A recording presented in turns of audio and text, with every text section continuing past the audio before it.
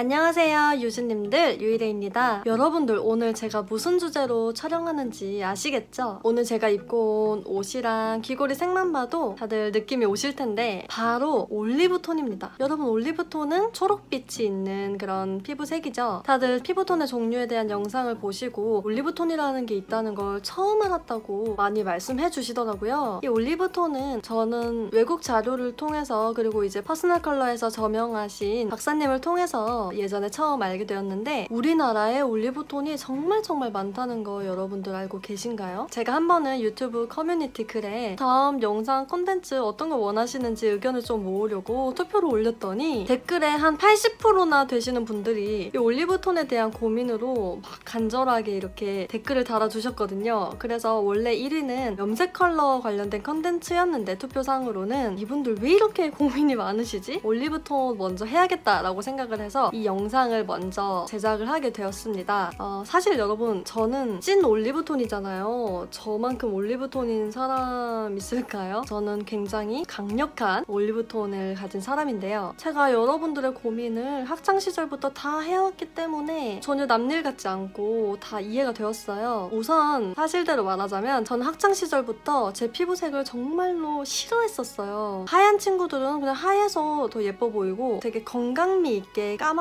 친구들 있죠. 그런 까무잡잡한 피부는 또 그런대로 매력이 있어 보이는데 내 피부는 노랗기만 하고 아니지 누렇기만 하고 좀 건강해 보이지 않고 칙칙해 보이고 제 피부톤에 대해서 정말 불만족스러웠거든요. 그래서 제가 그때 어떤 것까지 했냐면 그때 한참 유행하던 하얘지는 크림을 제 팔 다리에 막 치덕치덕 바른 적도 있었어요. 그 정도로 제가 정말 제 피부톤을 싫어했던 사람으로서 여러분들의 고민을 그냥 지나칠 수가 없었어요. 그런데요, 여러분, 저는 지금 제 피부톤을 매우 매우 자랑스러워하고 있어요. 저는 이제 다른 피부톤과 제 피부톤을 바꾸고 싶은 마음도 없어요. 크게 두 가지 이유가 있는데 첫 번째 이유는 여러분들이 그렇게 공감을 못 하실 수도 있어요. 왜냐면 제 직업병이니까요. 여러분들이 제 첫 영상을 보시면 아시겠지만 피부가 어둡든 밝든 노랑이 강조되는 옐로이시한 피부들은 무조건 쿨톤이다. 너무나 당연하지만 어찌 보면 센세이션할 수 있는 그런 얘기들을 제가 그 영상에서 말씀드렸는데요. 저는 당연히 그 얘기를 컨설팅에서나 교육에서나 강의에서도 합니다. 그때 이 제 올리브톤 피부는 매우 훌륭한 예시가 되거든요. 저는 매우 매우 노란 피부의 소유자입니다. 그래서 사람들은 제 피부를 보고 와 정말 많이 노라시네요 이렇게 반응을 하셔요. 그래서 옛날에는 제가 제 피부색을 싫어했다고 말씀드렸지만 이제는 제가 크리스천으로서 하나님 저에게 이런 피부톤을 주셔서 정말 감사합니다. 제가 이 일을 할 수 있게 된 것도 퍼스널 컬러와 피부색과 관련된 놀라운 비밀을 알릴 수 있었던 것도 하나님이 저에게 이런 피부색을 주지 않으셨다면 제가 이렇게 고민하고 깊이 연구해볼 생각조차 못했을 테니까요. 두 번째 이유는요. 제가 올리브 톤으로 마음 아파하시거나 고민하실 우리 유주님들에게 꼭 해드리고 싶은 말입니다. 올리브 톤을 가진 사람은요. 그 자체로 어마어마한 고급스러운 아우라를 가지고 있어요. 자신이 가진 빛에 대한 가치를 이 영상을 통해서 한 걸음 더 느낄 수 있게 되길 바라면서 그럼 바로 올리브 톤의 특징에 대한 얘기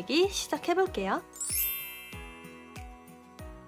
먼저 여러분들이 올리브 톤인지 아닌지 구별하는 방법은요. 바로 쇄골 밑에를 보시거나 아니면 여기 팔 안쪽을 보시는 거예요. 많은 분들이 어, 여기 손목, 손등을 보시거나 목을 보시는데요. 이 두 부위는 여러분들이 보통 햇빛에 노출은 많이 되면서 선크림은 안 바르는 곳이기 때문에 올리브 톤이 아닌 사람도 이 부분만큼은 올리브 톤일 수도 있어요. 왜냐하면 많이 타서 갈빛으로 변할 확률이 높거든요. 아니면은 뭐 배 안쪽이라던가 허벅지 쪽 살색을 확인하셔도 좋습니다. 그리고 얼굴은 선크림을 많이 바르지만 잡티나 피부 트러블 같은 것 때문에 어느 곳을 봐야 하는지 헷갈려 하실 수 있기 때문에 자가 진단용으로는 추천드리지 않습니다. 자 그렇다면 이제부터는 올리브톤을 정의 내려볼까요? 올리브톤은 맑고 투명한 피부일까요? 아닐까요? 물론 아닙니다. 올리브톤은요 색소의 양 자체가 많아져서 굉장히 불투명하면서 명도와 채도 모두 내려가 있는 피부톤인데요. 있는데요. 더 쉽게 말하면 어떻게 이루어져 있냐면 노란색도 당연히 있고요. 여기에 블루 베이스의 멜라닌이 필수로 들어갑니다. 그리고 최소한의 양의 붉은 색소만 포함되어 있어요. 그러면 노란 색소에 파랑색이 들어간 초록색의 올리브톤의 피부톤이 완성되는 겁니다. 노란색은 모든 색 중에서 가장 농도가 가벼워요. 우리가 파란 물감이 있는 페인트에 노란 색소 한 방울 떨어뜨리면 별로 타격이 크지 않죠. 여전히 그 페인트 통은 파란색을 유지하고 있을 겁니다. 그런데 노란 색깔의 물감이 가득 차 있는 페인트 통에 파란 물감을 한 방울 떨어뜨린다고 상상해보세요. 떨어뜨리는 순간 노란색의 페인트 통은 굉장히 탁하고 알 수 없는 이상한 색으로 변하면서 색이 확 변해버리고 말 거예요. 바로 이거예요, 여러분. 올리브톤의 피부색이 불투명하고 칙칙해 보이는 건 노란 물감에 파란 물감이 어느 정도 섞여 들어갔기 때문입니다. 그런데 여기서 꼭 짚고 넘어가야 되는 부분은요. 파란 색소의 어떤 멜라닌은 여러분들이 생각하는 그런 맑은 파랑이 아니라 푸른기가 있는 아주 어두운 색소라는 것입니다. 그러니까 blue base, 파랑이 베이스로 있는 아주 어두운 흑빛, 갈빛 또는 검은빛 이렇게 표현이 되거든요. 멜라닌이 많아질수록 피부색이 어두운 흑인으로 점점 가까워지는 거라고 생각을 하시면 됩니다. 멜라닌은 피부를 보호해주는 역할을 하기 때문에 백인보다는 흑인이 좀 더 노화가 더디고 피부가 조금 더 주름이 덜 생기면서 탱탱하다는 걸 한 번쯤은 들어보셨을 거예요.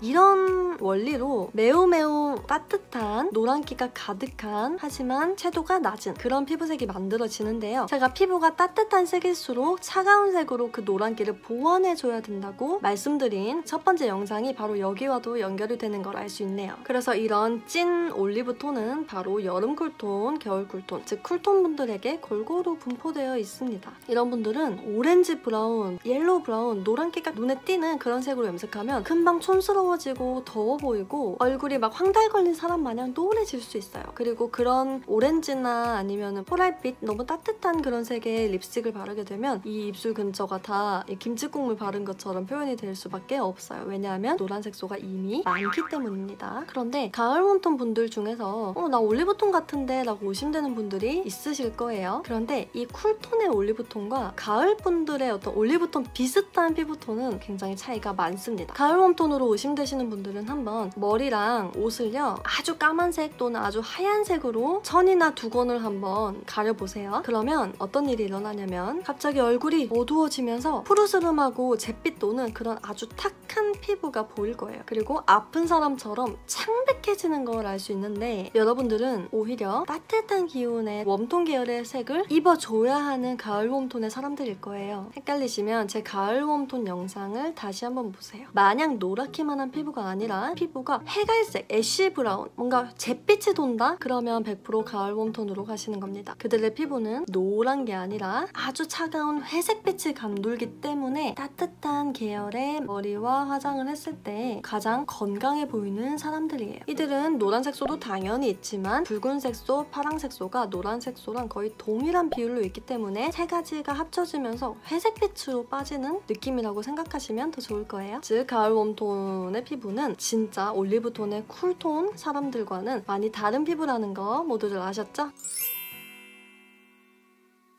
그래서 이런 올리브톤 사람들 중에서 여름 cool tone이 의심된다? 그러면 머리색을 ash 계열로 해보세요. ash brown, matte brown, 노란기 아예 없는 dark brown, dark choco brown 이런 부드러운 잿빛 컬러를 염색을 하시면 얼굴에 노란기가 보완이 되는 거예요. 그리고 굉장히 고급스러운 매력을 살릴 수 있죠. 그리고 또 하나 추천드리는 건 저도 자주 했던 ash purple 아니면은 보랏빛 와인, 빨간 와인 말고 보랏빛 와인 컬러를 추천드립니다. 그리고 올리브톤인데 나는 겨울 cool tone이 의심된다 하시는 분들은요. 너무 중명도의 애매한 머리색을 하면 오히려 힘이 빠져 보여요. 사실 겨울 cool tone 분들은 black을 정말 가장 멋스럽게 그리고 편안하게 소화하는 게 맞습니다. 그래서 black 머리를 하면 실패 확률은 없어요. 그런데 겨울 cool tone 분들 맨날 black만 하기 너무 질리잖아요. 그래서 매우 어두운 marsala 컬러 또는 blue black, emerald black 이런 색들을 추천드립니다. 어, 그러면 어, 그 카리스마는 누구도 정말 따라할 수 없는 그런 여러분들만의 빛을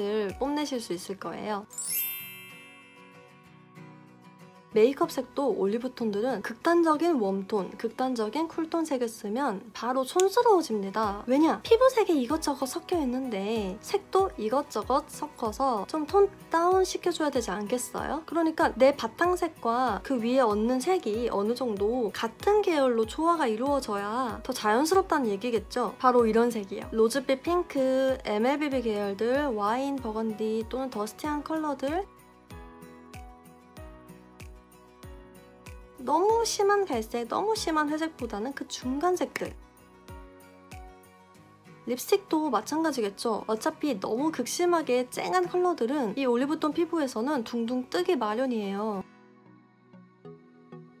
그래서 제가 엄청 힘없게 와장창 다 내리라는 게 아니라 한 톤씩이라도 내리라는 거죠. 이해되셨죠? 또 많은 분들이 궁금해하시던 파운데이션 컬러. 파운데이션 컬러는 제가 또 따로 영상을 제작할 계획인데 일단 올리브톤 분들은 제가 말한 거랑 똑같아요. 너무 노란기가 가득한 파운데이션을 쓰면 이미 얼굴이 누런데 거기에 또 그걸 바르면 메이크업에 효과가 없겠죠. 그리고 너무 핑크 계열, P 뭐 P01, P02 이런 식으로 적혀있는 파운데이션도 당연히 떠요. 파운데이션은요. 내 피부색보다는 보다는 한 단계씩 이렇게 벗어나서 보완을 해줘야 되지 누구나 마찬가지겠지만 두세 단계씩 이렇게 확 건너뛰면 당연히 톤이 안 맞아요. 목이랑도 안 맞고 내 전체적인 밸런스와도 맞지 않아요. 그래서 올리브 톤이신 분들은 너무 Y, yellow 또는 너무 P, 핑크로 가는 것보다는 딱 중간, neutral로 맞춰주세요. 그래서 보통 뭐 N01, N02 이렇게 쓰여 있기도 하고 아이보리 이렇게 쓰여지기도 하거든요. 그러니까 그 중간 라인들 추천을 드리는데 한번 pumping을 해보시면 와 정말 노랗다 이런 생각이 안 들고 예쁜 그냥 아이보리빛 또는 좀 명도가 내려가면 베이지빛, 노란 베이지 말고 그냥 적당한 베이지빛 그런 게 먼저 느껴지실 거예요.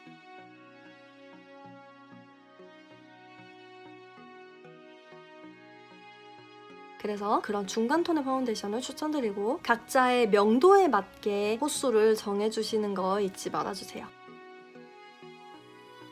자 여기까지 올리브톤에 대한 설명을 드렸는데요. 올리브톤은 튀는 극고채도의 색을 받아들일 수가 없어요. 왜냐하면 피부에 고채도스러운 맑음이 없기 때문이에요. 하지만 여러분 투명하지 않다고 해서 나쁜 건 절대 아니에요. 투명한 피부를 가진 사람들은 흉내낼 수 없는 그런 아우라, 분위기, 고급스러움이 이 올리브톤인 사람들에게는 물씬 풍긴다는 거 다 장단점이 있다는 걸 아시겠죠? 퍼스널 컬러 전문가 교육 시간에는 올리브톤에 대해서 표피, 진피, 피부 조직 그런 것까지 까지 언급이 되면서 조색 실습까지 들어가고 굉장히 깊게 다루거든요. 그렇게까지 피부 색소 연구에 집중을 하는 이유는 우리나라의 올리브톤이 매우 매우 많기도 하고 피부 색소가 퍼스널 컬러, 즉 여러분들의 빛을 결정짓는 확실한 키이기 때문입니다. 그래야 객관적인 진단을 해서 오진의 확률을 확 낮출 수가 있겠죠. 저는 이건 측색기로 나오는 부분은 아니라고 생각을 하고 또 옆 사람이랑 비교한다고 나올 수 있는 것도 아니라고 생각해요. 생각해요. 옆 사람이랑 비교하실 때는 나랑 피부 밝기가 똑같다는 가정하에서 진행을 하세요. 나는 어두운데 밝은 사람이랑 비교하지 마시고 나랑 피부 밝기는 똑같은데 뭔가 색이 다른 사람이랑 비교를 해보시면 알 수 있습니다. 어쨌든 색은 늘 불안정하기 때문에 누구 옆에 있느냐에 따라서 색은 확 바뀌어질 수 있고 어떤 조명 아래에 있느냐에 따라서도 색을 받아들이는 그때 그 눈의 상태는 또 달라질 수 있거든요. 그렇기 때문에 여러분들에게 추천을 드리는 건 역시나 전문가에게 컨설팅을 받는 것이다. 또 여러분들이 궁금하시다면 유일의 분류 체계에 있는 컨설팅을 받는 것도 도움이 될 수 있겠죠. 언제부터 유일의 컨설팅을 진행하냐는 댓글들이 정말 많은데요. 저는 1, 2월 컬러 전문가 양성 과정과 컨설팅 재정비를 마무리한 후에 진행을 할 예정입니다. 그리고 1월 초에 유이레 홈페이지 개설을 하는데 그때부터 이 컨설팅 예약을 받아보려고 합니다. 유이레 영상을 통해서도 아직도 내 타입이 뭔지 확신이 안 선다 하시는 분들 컨설팅 컨설팅을 역시나 받아보시는 걸 추천드리고 내가 나의 어떤 타입은 어느 정도 짐작을 하고 있고 색감을 보는 눈이 있어서